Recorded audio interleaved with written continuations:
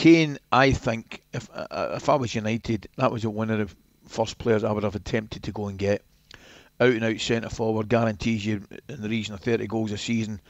But you'd be a little bit concerned if you were Kane going there about the strength of your squad and the strength and depth of the creativity, I think, in the side. I look at United and they've got problems in wide areas. You know, Rashford yeah, obviously. You know, uh, they have. They've just got problems in wide areas.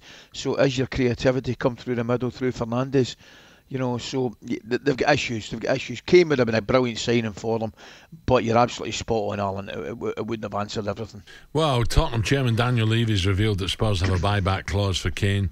Uh, he may end up going back there one day. Let's say a very good morning. John is now for more on this. Kane's former manager at Spurs and a man who managed them to the Champions League quarter-finals. Harry Redknapp. Harry, good Harry, morning. good morning, Harry. mate. How are you? Alan, Ali, good morning. How are you? Uh, We're on top form, Harry. We're on top Harry, form. thank you for the Grove. I hope you had a lovely day at the golf. Uh, Um, Great day, Alan. I mean, you did a fantastic job there, and uh, I played with Russell Osman. What a good golfer he is! yes. My God. Yeah, absolutely.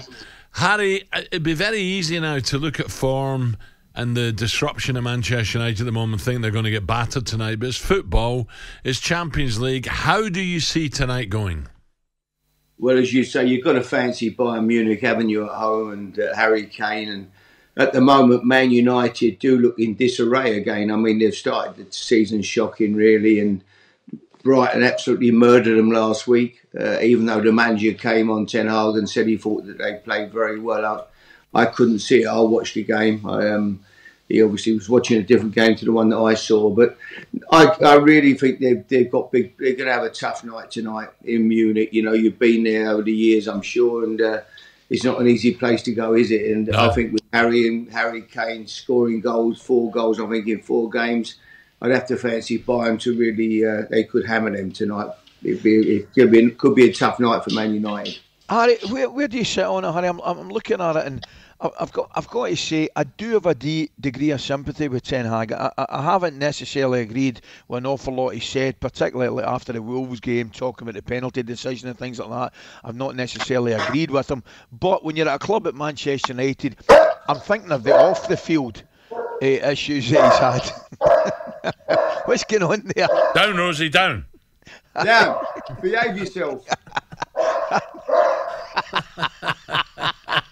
Ha- Harry, you at Monmore? Is, is that trap? Is that trap four at Monmore? Trap four.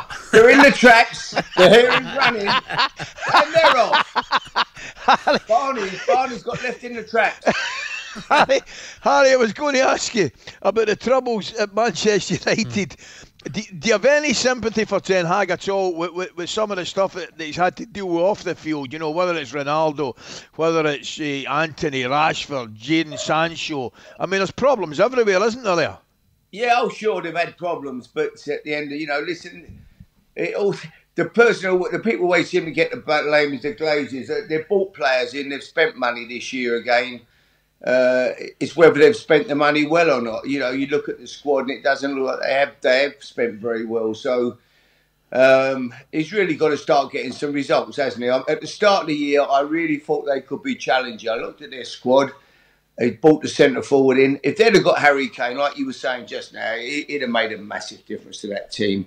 I don't know why they didn't push the boat out and make that one big marquee signing rather than bringing in three or four players. He, it, that is how important he could have been to them. But they haven't got him, and I think it's going to be a tough season for them. They're going to do well to certainly make top four again this year. That's not going to be easy to get in the Champions League. So, um, yeah, he needs he needs to pick up some results. He certainly needs to get out of this group in the in the in the uh, in in the Champions League, and he needs to obviously try to cement a top four place again. Otherwise, it'll be a disastrous season. Yeah. Now, Harry, last night, City, all right, it wasn't polished, but 3 1 victory. The impressive Champions League home record is brilliant. All eyes on United, of course, in Bayern, but also Arsenal. Arsenal against PSV, and of course, Sunday, Arsenal against Spurs. So this is a big couple of games for Arteta. Yeah, big week. I mean, they, you know, they've been in good form. They good result the weekend at Everton. Um, tonight at home, you'd have to fancy them at home, wouldn't you? You think they'd be too good for PSV tonight. Um, uh, but the big game, obviously, as well. And on the weekend on Sunday. That the local, you know, London derby. Um, got an injury the weekend. They left Martinez got injured, which is obviously a blow to them. But they've got a strong squad, and I think Arsenal look at the moment to me. The only two teams you can see challenging Man City in any shape or form, I think, is Arsenal and Liverpool. I yeah. really can't see anybody else. Yeah. Chelsea, Chelsea are miles off it. Tottenham are doing great, but you know we're not getting carried away. I think they're going to start challenging to win the league this year.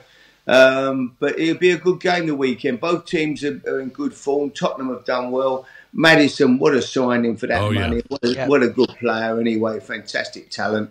Um, Tottenham are looking very strong. So I think they'll go to go to Arsenal on Saturday or uh, Sunday and and feel they can get something from the game. It's going to be a great, great uh, London derby. I think two good teams.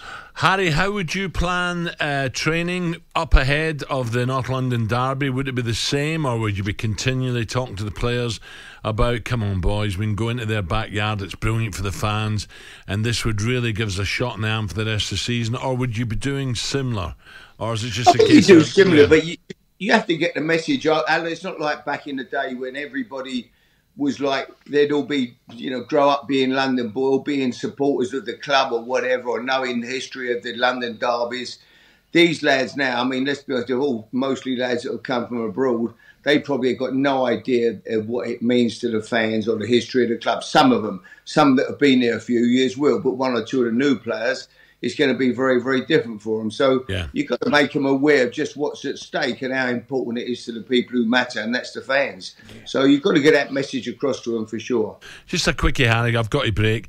Uh, you mentioned uh, behind City, it's going to be uh, Arsenal and Liverpool, three horse. Liverpool at home to your West Ham. Uh, West Ham have got to bounce back after that defeat last week. West Ham have had a good start to the season, and you know they look strong. They look like they're going to have a good year and they could they could push for to try to get into that sneak into that top six, maybe certainly see them being top eight this year, and they're in good form, and let's hope they have a great European run again. Last year was fantastic for them. talkSPORT Breakfast with Alan Brazil. Thursday and Friday morning, 6 till 10.